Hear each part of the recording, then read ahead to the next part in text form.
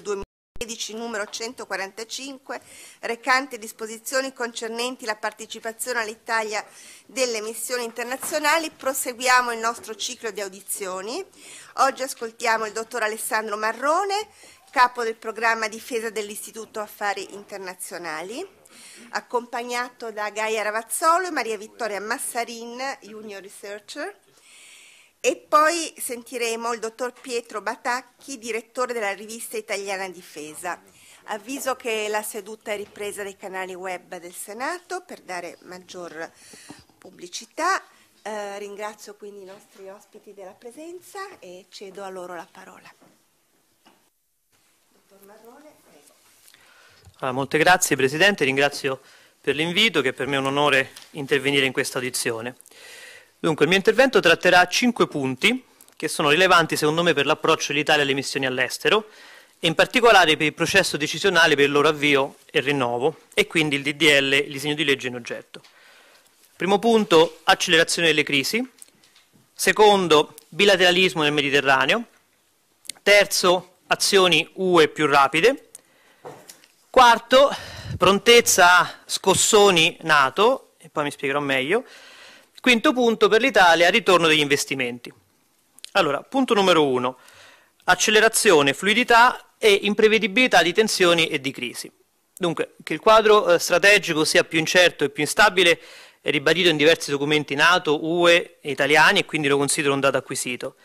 Però partendo da questo dato vorrei sottolineare che è aumentato il tasso di imprevedibilità, il tasso di accelerazione delle tensioni e delle crisi, che possono prendere diverse direzioni in modo molto fluido e quindi spiazzare e sorprendere. Quindi l'attacco di Hamas il 7 ottobre ha sorpreso Israele, la portata della reazione israeliana ha sorpreso gli Stati Uniti e i conseguenti attacchi UTI hanno sorpreso la comunità internazionale, per cui a valle si è reagito con Prosperity Guardian e con Aspides, cui ha partecipato l'Italia. Quindi il quadro è ben peggiore del 2016, quando l'Italia ha normato con la legge 145 il procedimento di autorizzazione delle emissioni e questo diciamo, è un motivo eh, a favore di un, un aggiustamento, un adeguamento per rendere l'Italia in grado di rispondere in modo più efficace all'imprevedibilità e alla fluidità di tensioni e crisi. Quindi nel DDL l'articolo 1 che introduce una maggiore flessibilità nell'uso degli assetti e dell'unità di personale all'interno di missioni nella stessa area geografica va in questa direzione perché un domani potrebbe venire, avvenire tra le missioni italiane in Kosovo e in Bosnia, tra le varie presenze italiane sul fianco orientale della Nato, nel Sahel, dove l'Italia ha diverse missioni, piuttosto che in Iraq, dove c'è la missione italiana e quella Nato cui partecipa l'Italia.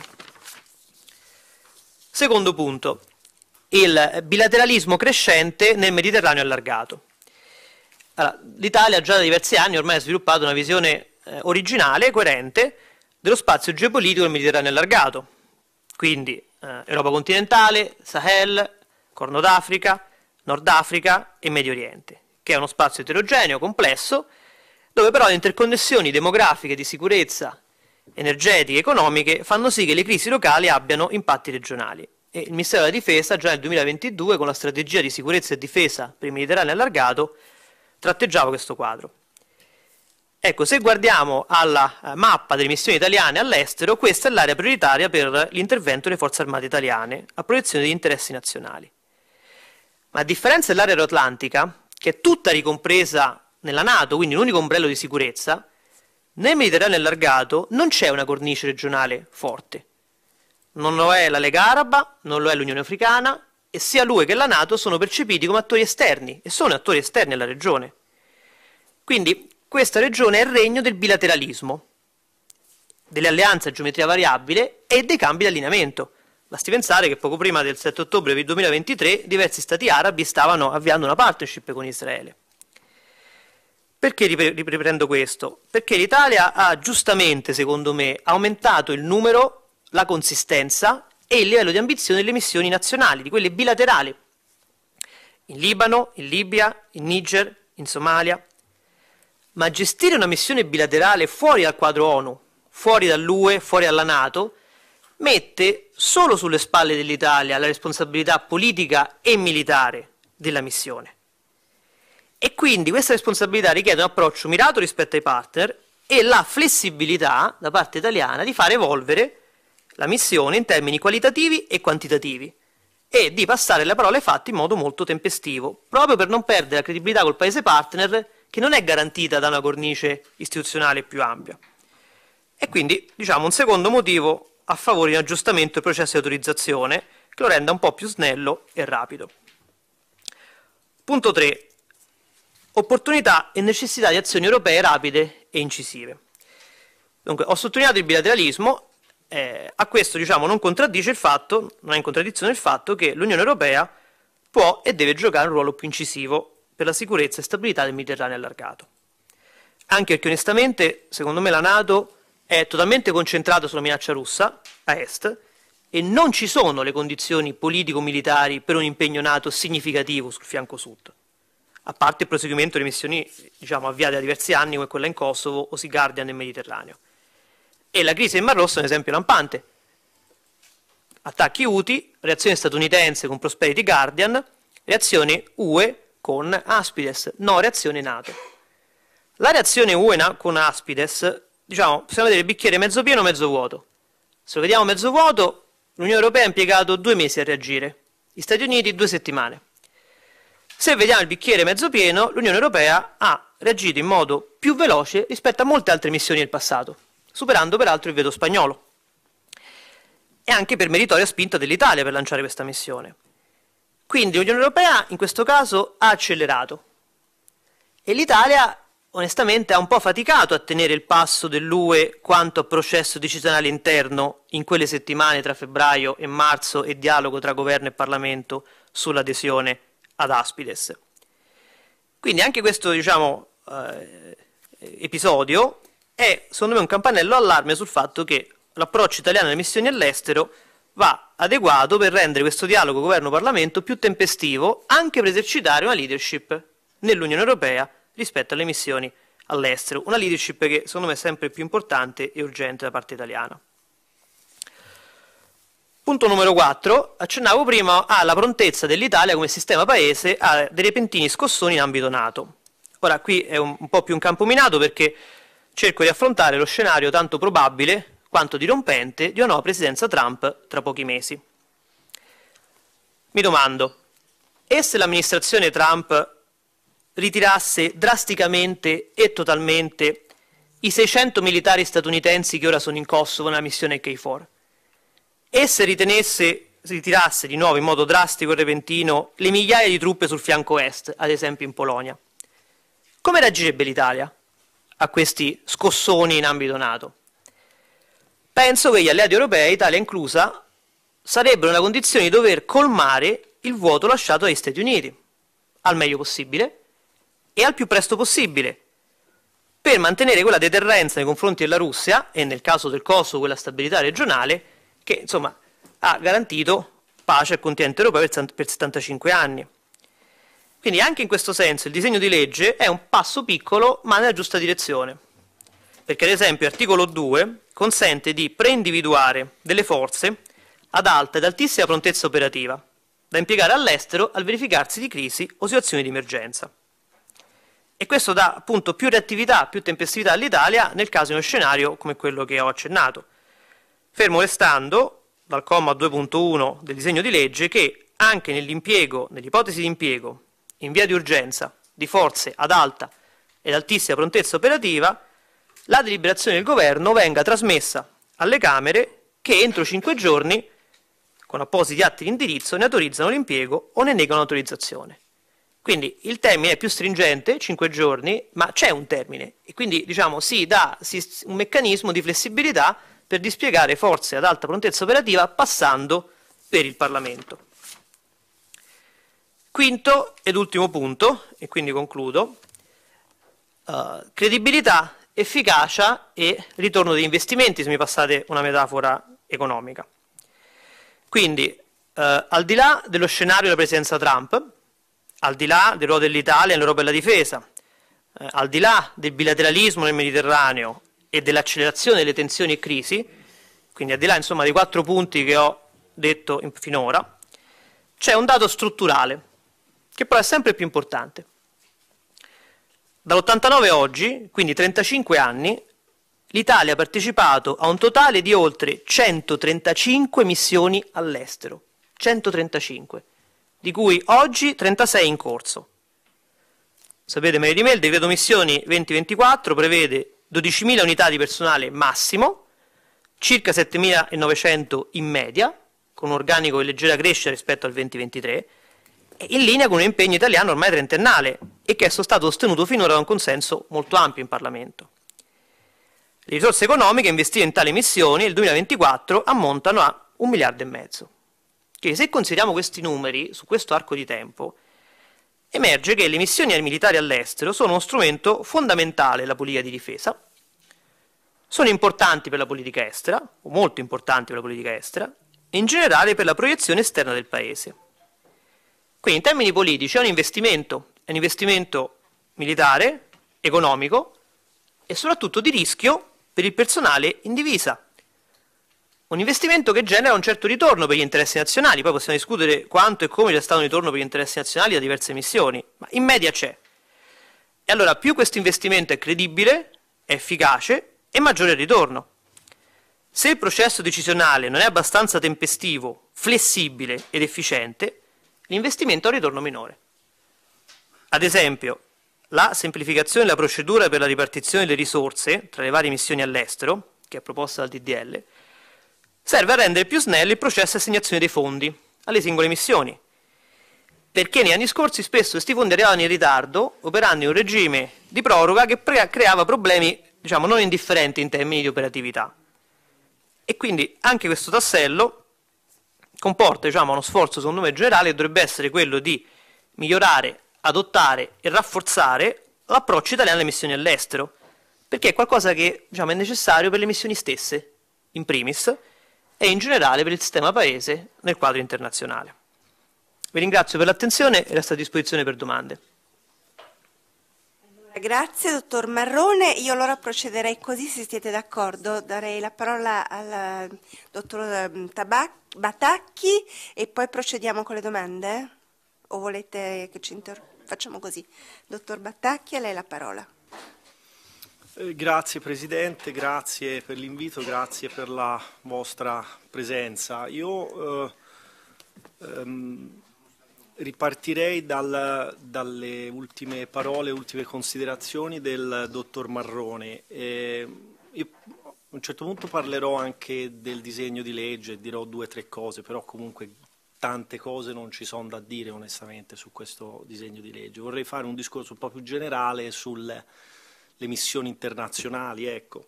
e appunto ripartirei da quello che diceva il dottor Marrone prima. Eh, noi oggi siamo, noi Italia, eh, siamo uno dei principali erogatori di sicurezza internazionale del mondo, del pianeta, eh, lo dicono i numeri, lo dicono la storia di questi 30 anni. Ecco. Eh, noi siamo, mi sono appuntato due cose, il primo eh, contribuente delle missioni ONU in Occidente, il secondo in ambito NATO, un contribuente di prima fascia dell'Unione Europea e così via. Però secondo me dove abbiamo un po' zoppicato eh, è sulla risposta alla domanda a cosa servono le missioni eh, internazionali. Ora eh, il dottor Marrone prima ha bozzato un po' di cose e io vorrei provare a svilupparle. Ecco.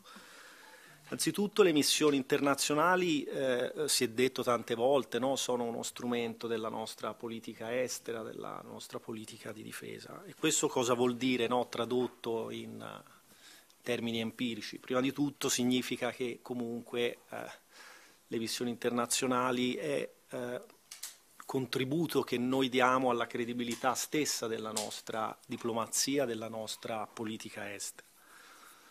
È uno strumento comunque di influenza che ci consente di stringere partnership, di eh, modellare comparti di difesa e sicurezza di paesi eh, partner sostanzialmente, che comunque stanno fuori in gran parte nostra, dal nostro perimetro di alleanze.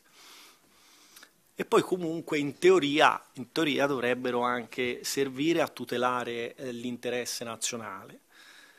E, e, io credo che eh, su questo si, si, si, debba e si possa fare una riflessione e vi ringrazio di, a, di avermi invitato qui perché questa occasione mi dà anche l'opportunità di confrontarmi eh, con voi, signori senatori, eh, su che cos'è fondamentalmente l'interesse nazionale e che cos'è l'interesse eh, nazionale italiano, no? come si misura.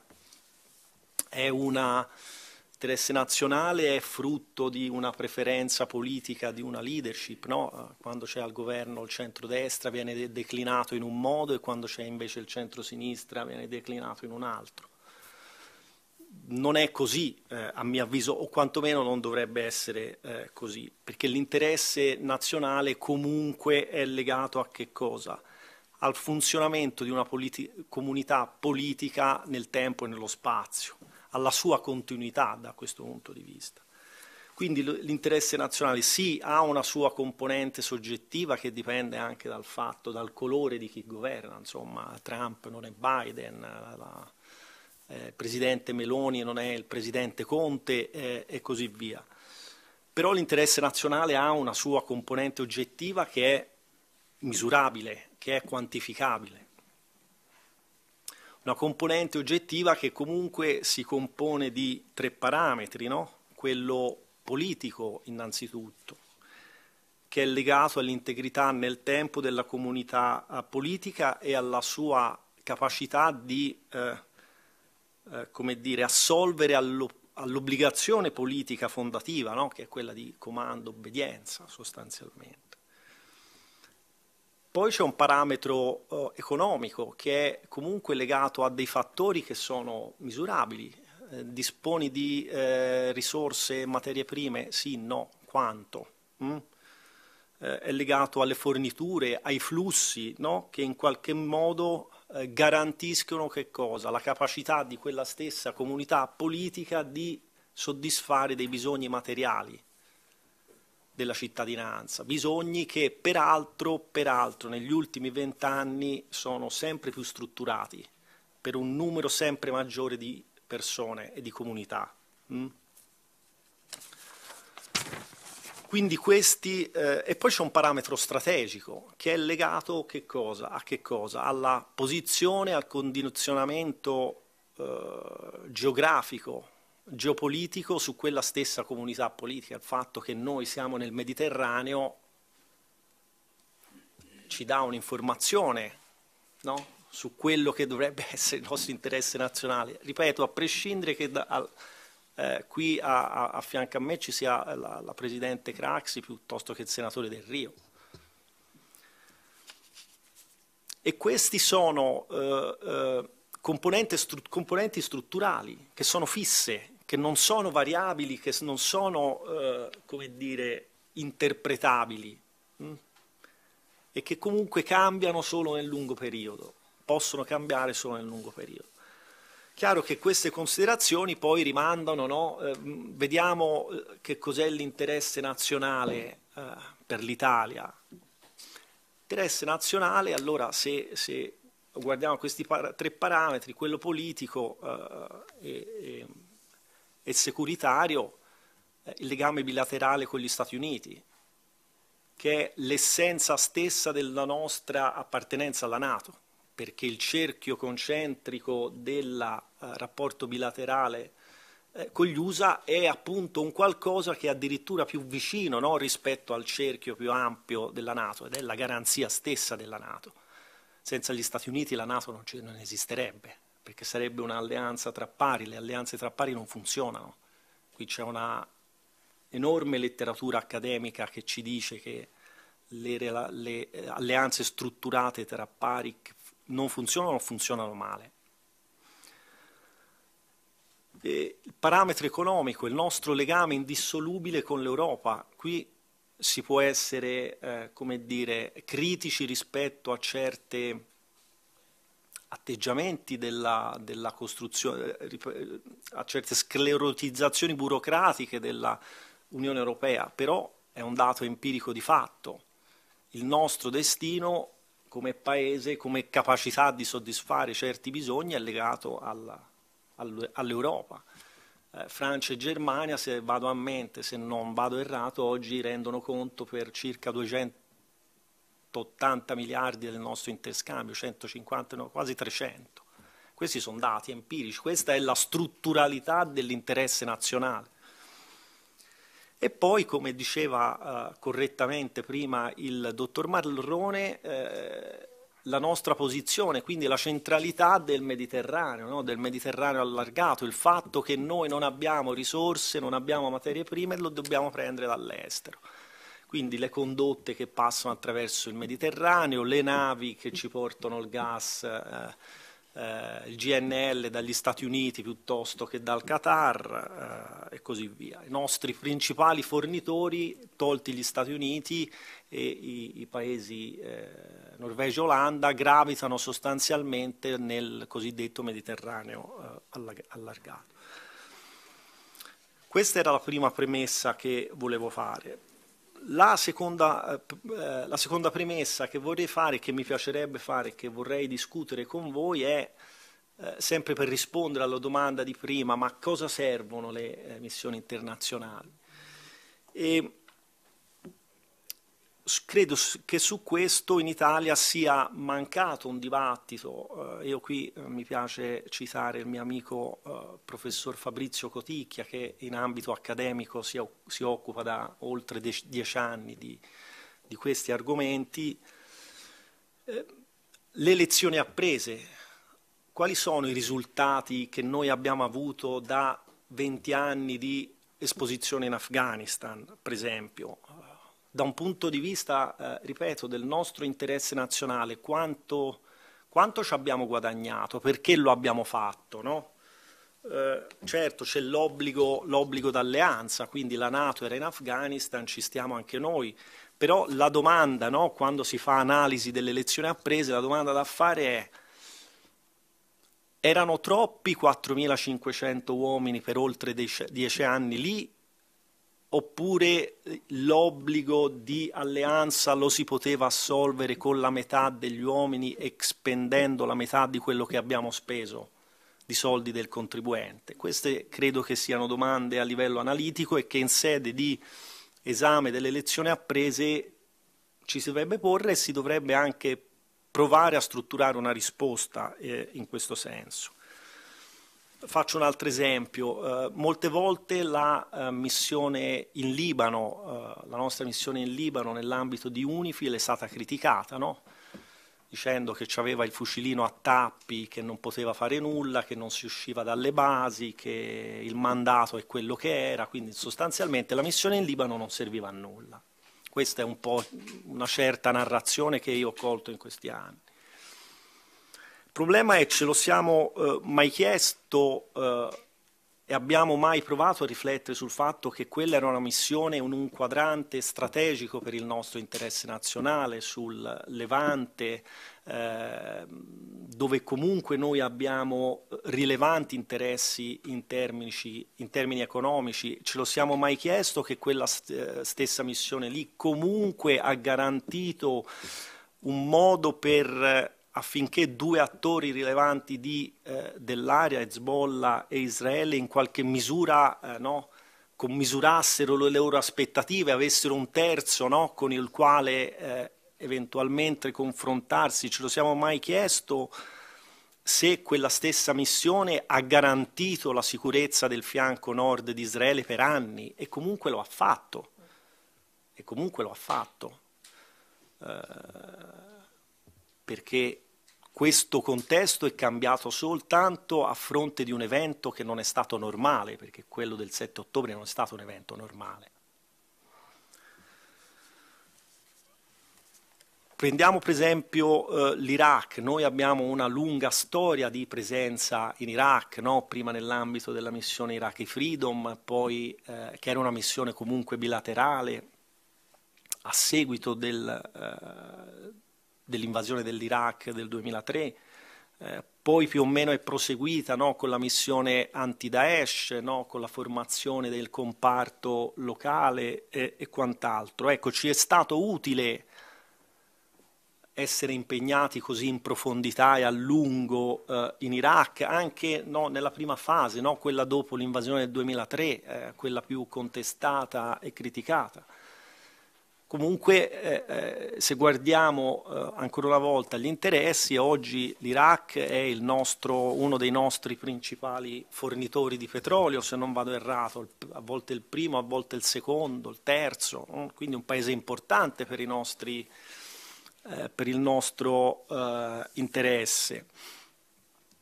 E, ehm, e quindi cerchiamo di capire eh, effettivamente qual è stato il ritorno di questo invest investimento, ma cerchiamo di capirlo eh, in termini materiali. Eh, eh è stata importante la nostra presenza in Iraq dopo il 2003, fu una presenza anche molto contestata, eh, vi ricorderete. Eh, però ci sono stati dei ritorni forse nell'ambito della nostra relazione bilaterale eh, con gli Stati Uniti. Io mi ricordo all'epoca che si concluse eh, un'operazione industriale non da poco, l'acquisizione da parte di Leonardo, allora Finmeccanica, di DRS, che maturò per l'appunto in quel contesto, quel contesto politico lì e non fu una cosa banale perché un'azienda italiana che va ad acquistare un prime americano, che è una cosa che non capita tutti i giorni, prime della difesa americana.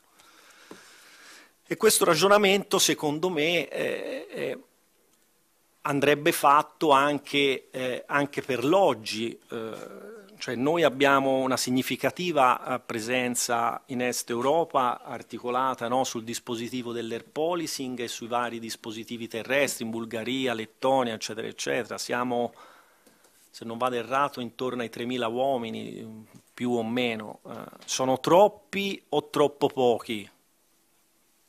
Si potrebbe avere un bilanciamento migliore rispetto a quello che eh, richiamava prima eh, il dottor Marrone, ovvero tra il fianco est e il fianco sud, si... è auspicabile. Alla luce di eh, due fattori eh, soprattutto, eh, il primo è il rischio da sud. Hm? Il fatto che buona parte delle minacce con le quali noi abbiamo a che fare, tolta la minaccia russa, che comunque ha un riverbero nel sud, perché la presenza russa nel Mediterraneo ormai è una costante da questo punto di vista da dieci anni ed è comunque aumentata negli ultimi due o tre anni. E tutto il corredo di terrorismo, immigrazione illegale, eccetera, eccetera non sottovalutiamo i Balcani, Balcani giustamente Presidente, eccetera, eccetera. Io credo su questo si debba e si possa fare anche una riflessione, insomma si parla di snellimento dei processi, di creatività, eh, tra virgolette anche del, delle politiche estere, cioè pensiamo magari anche a una presenza, una nostra presenza all'estero nel Mediterraneo allargato, diciamo più distribuita e più modulare, cioè meno con contingenti tradizionali, eh, statici e basati su grandi eh, concentrazioni, no? eh, ma proviamo a pensare a uh, quella che gli americani chiamano le stand-in forces, cioè piccoli contingenti però altamente capacitivi in grado di ridispiegarsi in outpost uh, avanzati in una serie di paesi uh, strategici eh, in grado da, di eh, garantire quella capacità di risposta di cui si eh, ehm, parlava prima, di prima istanza, ma anche di garantire una certa eh, deterrenza, anche perché eh, il tempo della classica missione di stabilizzazione eh, è finito. Per una ragione molto semplice, non solo perché ci sono i russi oggi e magari domani ci sono i, i cinesi, perché oggi l'ultimo guerrigliero ha comunque il missile antinave, eh, ti fa l'attacco hacker, eh, eh, sa usare strumenti di guerra elettronica, l'abbiamo visto e purtroppo l'hanno pagato duramente gli israeliani sulla loro pelle il 7 ottobre, che quelli con le ciabatte ai piedi, scusate il termine, eh, eh, senatori, quelli con le ciabatte ai piedi in realtà hanno fatto l'attacco hacker, hanno disturbato le comunicazioni, hanno utilizzato i droni eh, e quant'altro in maniera, eh, come noi si dice oggi, come dicono oggi le nostre forze armate, in maniera multidominio. Quindi questi signori per anni sono stati sottoterra a Gaza a studiarsi le operazioni militari e hanno utilizzato un'azione multidominio per colpire eh, Israele il 7 ottobre e, e, e prenderlo di sorpresa come l'ha preso. Quindi c'è una necessità anche da parte nostra non solo di eh, come dire, snellire i processi e di velocizzare i processi, ma anche di ripensare a quella che è la nostra architettura di, di sicurezza e ripensarlo anche nell'ambito di rapporti bilaterali che a mio avviso, soprattutto nel Mediterraneo allargato, come eh, giustamente diceva prima eh, scusa, dottor Marrone, eh, al quale mi lega un'amicizia di lunga data, ehm, rapporti bilaterali. Mm? E poi questo aspetto della eh, presenza diciamo, modulare all'estero rimanda anche al, eh, a delle, dei, dei, fulcri del, di questo disegno di legge oggetto della, dell'audizione di oggi, oggetto della vostra discussione, riguardante appunto le eh, forze di di, ehm, di, alta prontezza e di altissima prontezza. E ora chiudo proprio sul eh, disegno di legge, gli ultimi tre minuti. Eh, il concetto dell'interoperabilità che è stato richiamato prima tra missioni che insistono nella stessa area geografica, è, è chiaro che questo ci garantisce più flessibilità, ci garantisce più opzioni di risposta ed è bene che nel mondo di oggi, eh, con lo scenario di oggi, meno siamo ingessati, meglio è. Meno 7 ottobre eh, possono capitare. Molto bene anche il discorso della eh, semplificazione procedurale per il riparto, eh, per il riparto delle risorse che prima costituiva comunque un oggettivo problema, eh, capita, eh, capitava sistematicamente, eh, giusto per fare un esempio, che eh, in delle missioni all'estero progetti molto importanti, per esempio nell'ambito del CIMIC, della Civil Military Cooperation, eh, a un certo punto non avessero i fondi per essere implementati. E, e il SIMIC è uno strumento fondamentale delle nostre missioni, non, perché, eh, non solo per una questione umanitaria, ma anche per una questione di consenso intorno alla nostra presenza all'estero, che è fondamentale però poi per il ritorno che ha in termini di sicurezza, ma anche eh, per una capacità informativa, per una capacità a, a livello di intelligence, eh, evidentemente eh, dei nostri contingenti in teatro. E poi c'è il discorso delle, eh, delle forze di eh, alta e altissima eh, prontezza. Eh, questo è un aspetto molto importante perché la disponibilità di queste forze poi ci consente di dire, dare seguito no, al fatto di dire sì, adesso siamo più reattivi, sì, adesso siamo più snelli. Ora però ci dobbiamo chiedere, eh, chiaramente questa è una questione che riguarda soprattutto lo Stato Maggiore, ma eh, mi fa piacere condividerla qua con voi, come dovranno essere queste forze, perché eh, noi ad oggi alcune capacità ci mancano.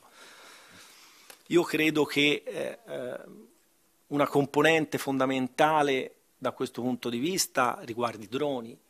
Eh, noi eh, paghiamo, noi eh, Italia, Europa, noi paghiamo un ritardo sul settore dei droni che è purtroppo enorme, paghiamo dazio da questo punto di vista tutti i giorni. E quando parlo di disponibilità di droni io penso alla, a questo, quello che sta succedendo adesso in Ucraina, in questo momento in cui si sta assistendo a un una resistenza da parte delle forze di Kiev che se non ci fossero i droni non sarebbe come è. Oggi se gli ucraini non avessero la enorme eh, quantità di droni che hanno, di tutti i tipi, probabilmente saremmo qui a raccontare un'altra storia. Non ci sarebbe neanche da, eh, come dire, il problema, vediamo quando arrivano, se si sbloccano i fondi americani, perché probabilmente i russi sarebbero a Sloviansk e a Kramatorsk già da un po' gli ucraini sono stati in grado di rallentare la, la, la, l'iniziativa, l'iniziativa, russa, sono stati in grado di rallentare l'offensiva russa grazie a questa enorme disponibilità di droni. E su questo credo che eh, noi ci si debba, eh, si debba pensare a forze armate in cui il drone è sempre più pervasivo in tutti i settori, da quello dell'osservazione a quello della guerra elettronica, a quello dell'attacco, cioè nella disponibilità di, parliamo, diciamolo, eh, come, come, si chiamano, di droni kamikaze o droni, droni suicidi, che è una capacità oggi che noi sostanzialmente non abbiamo ma è una capacità che se vogliamo avere delle forze ad alta prontezza e ad, alta, um, ad altissima prontezza che danno seguito al, al, al, al, dettato normativo del disegno di legge, noi abbiamo la necessità di darci questa capacità la guerra elettronica, eh, la disponibilità di eh, missili, eh, per esempio eh, mi viene in mente al missile antinave Marte R o al missile eh, polivalente Brimstone da installare su veicoli leggeri per avere una capacità altamente letale ed altamente dispiegabile. Un nostro pallino quella di eh, installare il Brimstone o il Marte R sul veicolo Lince Oppure la disponibilità, e questo è stato lungimirante da parte dell'esercito, l'acquisizione dei lanciarazzi IMARS, la disponibilità appunto dei lanciarazzi IMARS per essere dispiegati sugli aerei da carico in modalità, come si dice in gergo, eh, shoot and scoot, cioè spara e scappa, perché la, flot, la forza ad alta uh, prontezza avere, dovrebbe avere certi tipi di uh, caratteristiche. E concludo, eh, perché è necessario questo? È necessario tutto questo perché, eh, come abbiamo visto il 7 ottobre, il nostro avversario, anche se non è il russo, anche se non è il cinese o chi per lui, cioè anche se non è uno, un, un, avversario convenzionale, è un avversario comunque sempre più capace da un punto di vista militare sempre più sofisticato, che ha approfittato di quello straordinario fenomeno degli ultimi dieci anni che è della diffusione orizzontale delle tecnologie. Quindi dai droni alla guerra elettronica, al cyber eh, e così via. Abbiamo visto, lo dicevo, lo dicevo prima, il danno che ha fatto la che è riuscita a fare Hamas il 7 ottobre, no? eh, danno che poi ha, trigger, ha triggerato quella eh, eh eccesso di reazione di cui tutti i giorni parliamo a proposito di Israele, ma che è garanzia stessa dell'esistenza uh, dello Stato ebraico e, ed è il fulcro della dottrina militare dello Stato ebraico. Insomma, ricorderete quello che diceva il generale Moshe Dayan no? in, in, questo senso. Uh, Israele deve essere percepito dall'avversario come un cane pazzo, troppo pericoloso per essere disturbato dal, dal nemico, no? e quando viene disturbato bisogna fare in modo che il nemico pensi prima possibile che quel cane lì è tornato pazzo e non un cane docile, come il 7 ottobre. Ecco. Per cui alla luce di tutto questo, bene eh, lo snellimento procedurale, bene eh, l'accelerazione, la flessibilità, no? eh, e la direzione nella quale va uh, questo disegno di legge, però facciamo anche una riflessione più ampia sulle nostre missioni, eh, cerchi, chiediamoci se eh, il disegno di legge non dovesse anche magari incidere sulla parte iniziale della 145, no? quando si parla delle fattispecie di intervento all'estero, si parla di eh, eccezionale intervento umanitario, se non vado errato, ecco io ci aggiungerei anche eh, eccezionale eh, intervento per la tutela di un interesse nazionale quando questo interesse nazionale è gravemente minacciato. Grazie. Grazie a lei, dottor Battacchi, grazie dottor Marrone, grazie per aver capito, inteso bene lo spirito della legge, che è uno spirito di rendere più flessibile e efficace la decisione da parte del Parlamento di eh, dell'invio di missioni militari o della modifica di missioni militari in corso. Eh, grazie anche per i vostri spunti di riflessione che mi permetto di dire ci segnalano un buco a monte. Eh, lo faccio, l'ho fatto diverse volte, lo faccio anche oggi. Il nostro è l'unico dei grandi paesi del mondo che non ha un piano strategico di difesa e di sicurezza. Un piano strategico di difesa e di sicurezza vuol dire avere una strategia che coinvolge l'industria di difesa, le missioni internazionali, eccetera, eccetera, eccetera. Mi auguro che in questa legislazione prima o poi ci sia modo di mettervi mano, soprattutto coinvolgendo tutti, non solo tutti i ministeri competenti, il Parlamento, ma anche tutti i gangli della società che debbano essere coinvolti. Grazie. Il senatore Marton ha chiesto la parola, ne ha facoltà. Grazie ai relatori. Io credo di essere qui in questa sala l'unico che era presente eh, quando è stata predisposta quella legge 145 ed erano tempi ben diversi e quella legge nasce collocata in quei tempi. Quindi ha senso ora cambiarla perché i tempi sono cambiati e soprattutto il contesto è cambiato. Io ero molto orgoglioso di quella legge anche perché era susseguente a un periodo in cui si andava per decreti, quindi per noi è stato un salto incredibile. Detto questo, il dottor Battacchi ha parlato di deterrenza, ha ancora senso? Cioè, eh, deterrenza rispetto a quale interlocutore? Abbiamo visto che, eh, ad esempio, nei, nei, confronti russi mi pare che serva ben poco la deterrenza. A, a quali attori ci rivolgiamo nel momento in cui noi parliamo di deterrenza e, e di, di, azioni propedeutiche appunto a far capire che dall'altra parte qualsiasi attore eh, ci sia, che siano utili, che siano, mettete il nome che volete, deterrenza in che modo? La seconda domanda per il dottor Marrone, lei ha parlato di complementarietà tra bilateralismo in seno al Mediterraneo e l'Europa. E anche qui ha, ha senso, cioè nel momento in cui noi abbiamo un'Europa che è fondamentalmente divisa, ha eh, diciamo, interessi eh, nazionali che diciamo, vanno oltre l'Unione Europea, in più ambiti, in più contesti, in più, in più scenari, ci sono interessi che sono divergenti, no, non possiamo far finta di, di non vederli, e parliamo di bilateralismo complementare, cioè, secondo me le due cose non, non, riescono a stare insieme.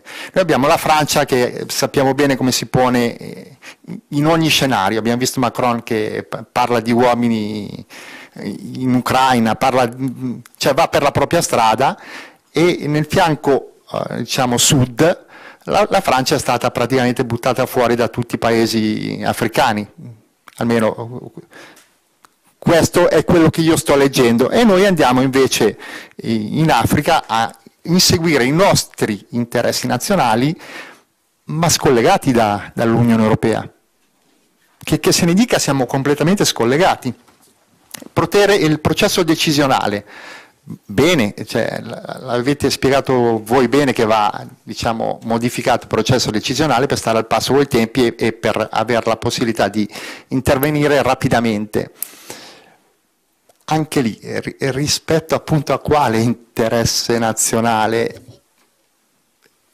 interesse nazionale confliggente rispetto a un interesse nazionale altrui legasi Francia, Germania e altri o interesse nazionale che appunto complementare un interesse europeo più ampio in modo tale da avere un, un ombrello diciamo più ampio come Unione Europea e un insieme di interessi nazionali Mancato dibattito sulla, sulle missioni internazionali, io aggiungerei anche sul sistema industriale difesa.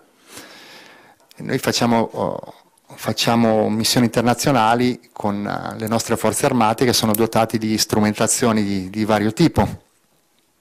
Ne parlavo prima con il senatore Del Rio e col senatore Alfieri sul, uh, sull'F-35 programma F35, faccio un, un, azzardo di collegamento, il programma F35 inserito in un contesto di missioni internazionali ha avuto senso, ha, ha avuto risultati, cioè, seguo, seguo, lei dottor Battacchi, eh. a me sembra che non ne abbia avuti e mi sembra che in realtà il GCAP nasce in, una, in un modo molto diverso e, e ha avuto secondo me un approccio decisamente migliore il GCAP rispetto all'F-35 che io già dal 2013 mi sono sentito subire un, un, programma di quel tipo che ancora adesso reputo veramente eh, fuori dal mondo. Detto questo è una mia idea personale, quindi... E... Troppi uomini o troppo pochi? È una domanda che ho fatto qualche giorno fa al capo di Stato Maggiore della Difesa. Proprio in virtù del ragionamento che lei al test ha fatto, ho fatto lo stesso ragionamento, ma quanti uomini servono per seguire tutto quello che attualmente sta succedendo nel mondo?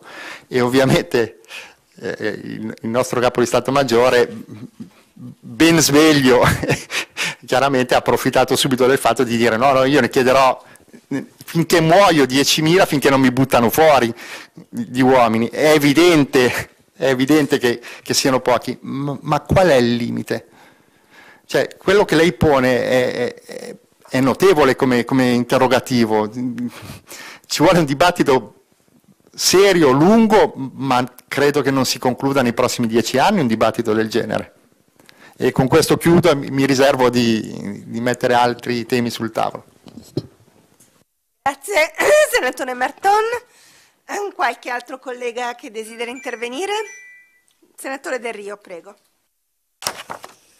Sì, anch'io ringrazio i relatori per, per le interessanti appunto, comunicazioni che ci hanno fatto.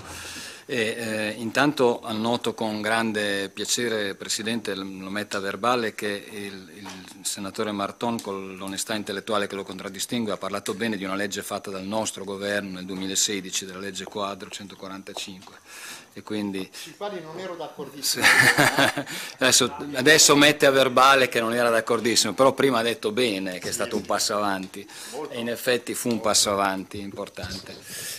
Ecco, mi pare che tutte e due le relazioni hanno, mh, per fortuna, eh, messo in evidenza che più che gli aspetti tecnici della modifica della 145 bisognerebbe ragionare in termini più politici, perché è difficile dare un giudizio eh, diciamo serio sul ritorno che abbiamo da queste missioni, perché di fronte a questo enorme volume che abbiamo davanti, a questa spesa abbastanza consistente che abbiamo davanti, la prima domanda che tutti ci facciamo è a cosa serve. Ora io eh, premetto che non sono tra coloro che pensa che tutto possa essere giudicato in termini di ritorno economico, mi spiego? Cioè non è che serve solo quello che economicamente rende eh, penso che per esempio sia un investimento straordinariamente efficace fare l'università eh, nel, Mediter nel, Mediterraneo come propone il professor Prodi da tempo, cioè università in cui l'Europa, l'Italia promuove università del Mediterraneo.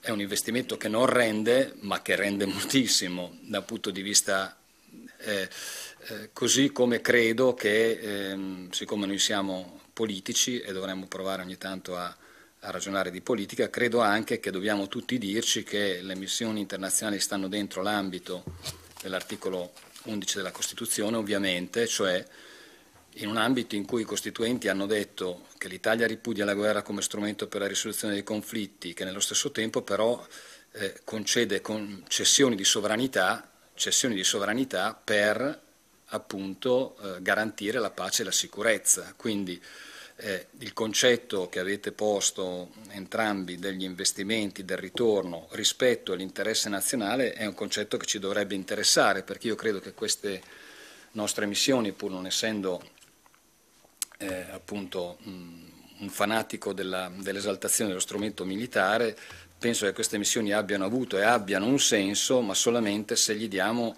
un significato politico molto più eh, preciso e se avviano una discussione politica molto più precisa, molto più adeguata ai tempi. Eh, e anch'io voglio sottolineare due questioni. Il primo è che eh, questa bilateralità che era stata secondo me sottolineata dal dottor Marrone nella sua relazione, ma che anche il dottor Batacchi ha, messo in evidenza, questo tema della bilateralità rispetto al coordinamento con una politica estera e di difesa dell'Europa.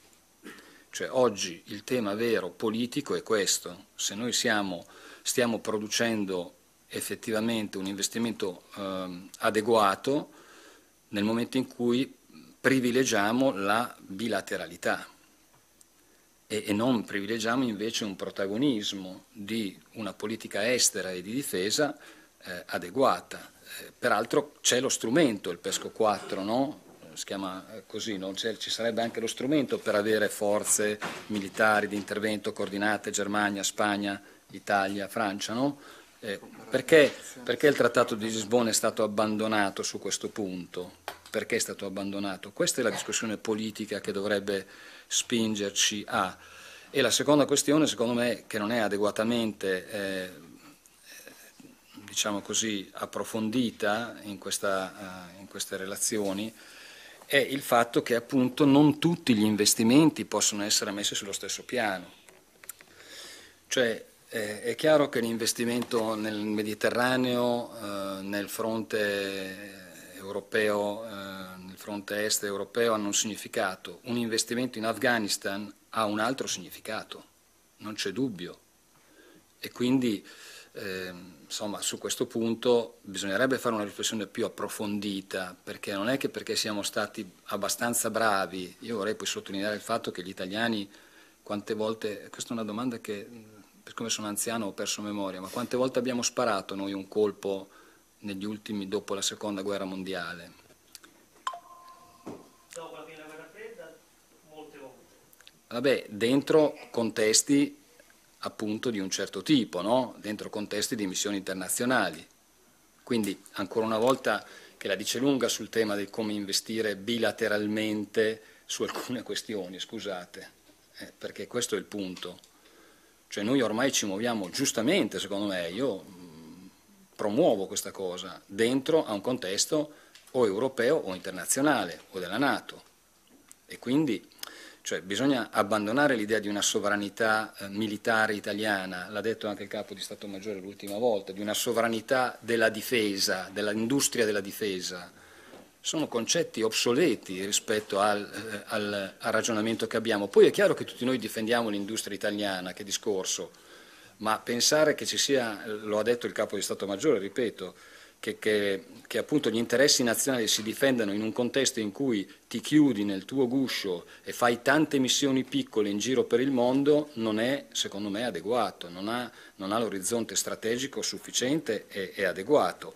E quindi le lezioni apprese dovrebbero essere analizzate in maniera più eh, puntuale anche. Su questo il Ministro Crosetto, devo dire onestamente, ci ha promesso che cercherà di, no, Presidente, di presentare una relazione molto più analitica e più politica, tra virgolette, e in anticipo rispetto a, perché noi oggettivamente oggi noi approviamo, credo senza grande imbarazzo, queste missioni, pur sottolineando il fatto che purtroppo, come ci è stato sottolineato dalle altre associazioni, la parte civile, la parte diciamo, è stata ulteriormente penalizzata.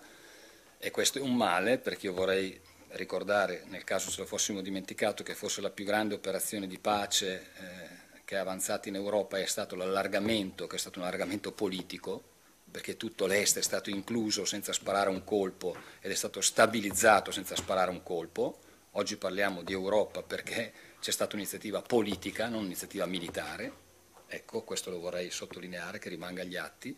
Quindi io penso che eh, questo ragionamento sia quello che anche le relazioni di oggi ci inducono a fare, cioè quello di fare un ragionamento più strategico e più selettivo anche, più selettivo.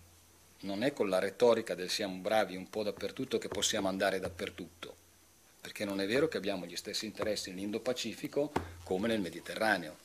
Preferirei un, un esercito italiano molto più capace e pronto, con un esercito appunto a quattro, all'interno di obiettivi di politica estera chiari, perché poi bisogna capire quali sono gli obiettivi di politica estera, che lo strumento di difesa per sé, per me, non esiste scollegato da obiettivi di politica estera, perché altrimenti è una cosa che si autoalimenta, come la guerra delle macchine, ahimè, lei mi ha fatto venire in mente la guerra delle macchine, perché poi alla fine stiamo andando verso questa cosa, no? E, e, e quindi il problema è la definizione di obiettivi di politica estera comune però, non solamente nazionale, perché altrimenti nostro, la nostra irrilevanza dal punto di vista sostanziale sarà sempre maggiore, all'interno di un quadro come quello che abbiamo davanti e che è così rapidamente mutato e che è così rapidamente imprevedibile come veniva sottolineato giustamente. Grazie, senatore Del Rio. Assolutamente sì. Uh, chi di voi due vuole cominciare a rispondere? Dottor Marrone, prego. Eh, sì, ecco, segnalo che abbiamo un quarto d'ora ancora perché poi... Oh, grazie, molte per, eh, so. grazie molte per gli interventi molto, molto stimolanti. Allora, secondo me gli interessi nazionali italiani e quelli europei sono uh, parzialmente sovrapposti e parzialmente collegati, o scollegati se vogliamo vedere il bicchiere mezzo, mezzo vuoto. Diciamo, non si sovrappongono del tutto, ma sono due cerchi non concentrici, parzialmente sovrapposti. Allora, se volessi diciamo, eh, semplificare un messaggio politico, credo che l'Italia dovrebbe andare in via bilaterale quando necessario e in via UE quando possibile. Quindi in via bilaterale quando necessario perché diciamo, garantisce una maggiore aderenza alla visione degli interessi nazionali e a sua volta può essere parte di una visione regionale più ampia come potrebbe essere il piano Mattei.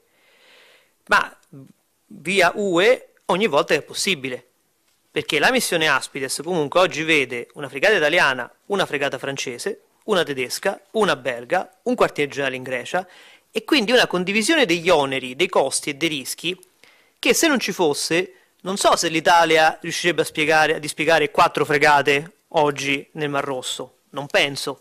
Quindi in questo caso il bilateralismo non era alla portata italiana, l'Unione Europea è riuscita a dare una risposta efficace e, e, e utile. Quindi, diciamo, eh, con molta dose di pragmatismo e anche di guardare in modo selettivo, caso per caso, ci possono essere delle occasioni, delle occasioni circostanze bilaterali, circostanze in cui due, tre o quattro paesi europei a geometria variabile e possibilmente il gruppo dei quattro maggiori, quindi Germania, Francia, Italia e Spagna in ordine alfabetico, anzi prima, prima Francia, che facciano gruppo di testa. Secondo me non è mutualmente esclusivo, cioè non è dicotomico bianco e nero, bilaterale o europeo, però certamente ci vuole molta strategia politica di lungo periodo per avere le linee guida e molta tempestività politica di vedere caso per caso qual è diciamo, l'opzione migliore, se quella bilaterale o quella, eh, o quella europea. E quindi il, diciamo, l'azione bilaterale sicuramente è meglio dell'inazione e può essere un mattoncino di una costruzione più, eh, più ampia. Eh, sul ritorno della missione, qui vengo alla seconda domanda, un po' l'accennava il collega Piero Batacchi. Allora, è difficile dimostrarlo, però è molto probabile che se non ci fosse stata Unifil in, in Libano o KFOR in Kosovo, oggi avremmo altre due guerre non due situazioni relativamente stabili come in Kosovo e, e in Libano. Quindi mantenimento stabilità è un ritorno, diciamo, tangibile o intangibile alle missioni. Il contrasto al terrorismo, anche lì è difficile dimostrare, però anche piccoli contingenti militari in tanti paesi africani che stabiliscono delle liaison, dei dialoghi, dei rapporti o interlocutori locali sono un'antenna che in chiave di intelligence, di contrasto al terrorismo, diciamo, la, la materia non è discussa pubblicamente, però immagino sia rilevante. C'è un discorso di pilastro bilaterale che faceva il collega Batacchi con l'Iraq, con tanti altri stati, e c'è un discorso di investimento, io direi più che di contributo a NATO-UE, perché contributo sembra qualcosa che si dà ed è a perdere. E invece l'investimento italiano nella difesa europea o in ambito NATO dà un ritorno perché la NATO è quella cornice di deterrenza che non ha funzionato in Ucraina perché l'Ucraina non era oggetto di deterrenza NATO perché non è un paese membro della Nato, ma funziona nel non far allargare il conflitto ucraino alla Polonia, ai paesi baltici e al resto dei paesi NATO. Quindi secondo me diciamo, questa polizza assicurazione NATO rispetto alla Russia e anche rispetto a rivalità intraeuropee vale il, l'investimento che si fa col premio assicurativo. E qualcosa di simile, ma insomma, non uguale, si può dire per l'Unione Europea, in cui l'investimento nella difesa europea è un pilastro di un'integrazione politica più ampia e quindi sostiene le altre dimensioni monetaria, economica, o, o, o, o di, di, Stato di diritto e porta anche a un'Unione Europea che può agire per stabilizzare il vicinato. E qui io parlando di selettività e di priorità direi che sta emergendo la divisione del lavoro, la Nato fa difesa collettiva degli Stati membri, non dell'Ucraina, degli Stati membri rispetto alla Russia e l'Unione Europea può fare più stabilizzazione del vicinato eh, a sud. E chiudo dicendo che appunto in ottica di selettività e di priorità le due priorità sullo stesso piano sono Mediterraneo allargato in via bilaterale o UE, deterrenza collettiva est in via NATO e invece in subordine l'Indo-Pacifico è stato menzionato, quello può essere un po' indicato già in alcuni documenti governativi come un punto di esercitazioni, di dialogo, di scambi militari che portano anche lì a un, diciamo, una, una, mutua comprensione, una costruzione di network che può venire bene in futuro, ma con una presenza numerica molto più ridotta di quella del Mediterraneo, dell'Europa, e soprattutto una presenza principalmente navale o aeronavale e non, e non terrestre. Mi fermo qui, Pietro. Grazie. Dottor Batacchi. Sì, allora, eh, sul discorso, eh, ora col senatore Marton, insomma, ci diamo appuntamento un, gio un giorno e, e, la, e la sistemiamo le cose come si dovrebbero sistemare. Però uh, stringendo... No, no, ci mancherebbe, anzi, eh, guardi, lei... Eh, poi tra l'altro sul discorso dell'F-35 con me sfonda una porta aperta, ora e accenno un po' la, la, la, risposta. Allora, sul discorso della deterrenza, io credo che eh, una delle ragioni che eh, hanno portato la, la, Russia ad aggredire un paese sovrano che le stava accanto è anche quella percez della percezione di un deterrente che si era indebolito per tutta una serie di ragioni, a cominciare dalla sciagurata fuga da Kabul, che Dio ce ne scampi da quell'immagine lì che ha fatto tantissimo male all'America e all'Occidente, ovviamente alla, alla, sceneggiata del gennaio dell'anno prima sulla, con l'assalto al congresso, a tutta una serie di, eh, come si dice in, in gergo, di segnali no, che i russi hanno percepito, hanno percepito e a un certo punto quando attori come quello percepiscono debolezza nell'avversario, eh, come dire, hanno una prateria davanti, perché comunque eh, i russi insomma eh, ormai li conosciamo, sono molto sensibili alla, al ragionamento della forza, no? sia che la si usi che eh, in maniera più conveniente non la si usi. Poi il deterrente serve perché ci sono anche una serie di attori regionali eh, che, come dire, di un certo concern, come si dice eh, in inglese, ecco, io non, non, non, cito, non cito nessuno, e rispetto a quegli attori eh, uno strumento militare credibile, proiettabile, che sia appunto de deterrente è assai, è assai utile. Um, generalmente si dice contro i terroristi la deterrenza non serve. Eh, ni eh, ni, eh, perché delle volte capita che terroristi o gruppi irregolari a un certo punto si facciano Stato, si facciano territorio, si facciano pezzi di Stato. Quando io sento dire che gli UTI sono un gruppo terroristico mi si drizzano i capelli che non ho.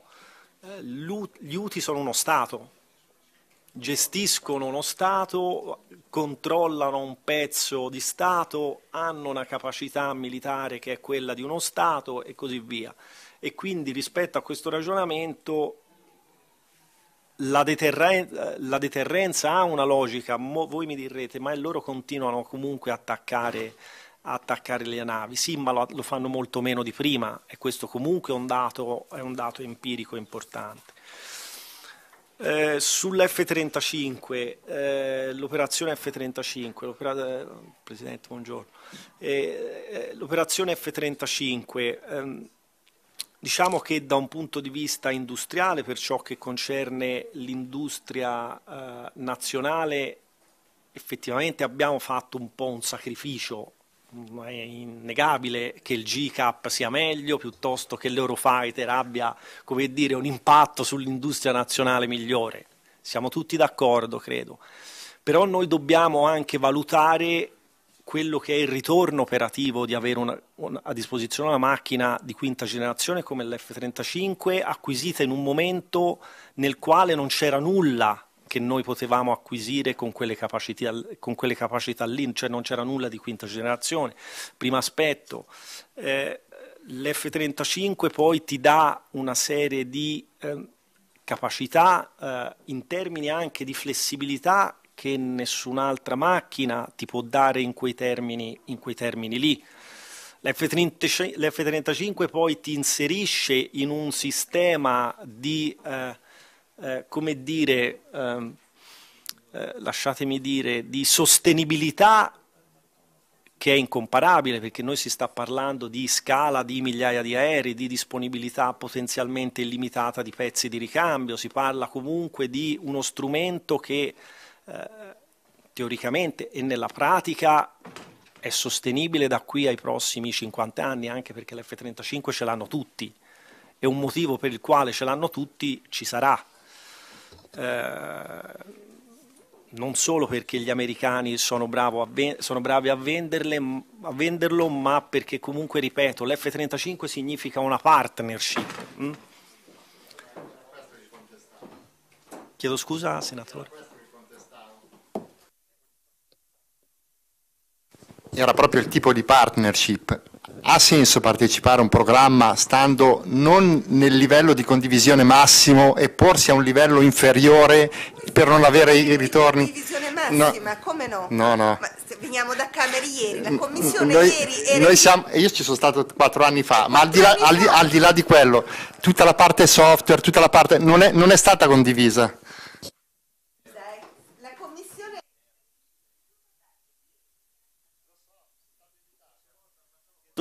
Allora, guardate, vi, vi, credo di potervi dare la risposta ultimativa su questo, eh, diciamo definitiva su questo. L'Italia ha i suoi laboratori di programmazione delle librerie di guerra elettronica sull'F-35, siamo uno dei pochi paesi a, eh, ad avere questa capacità e questo che cosa significa?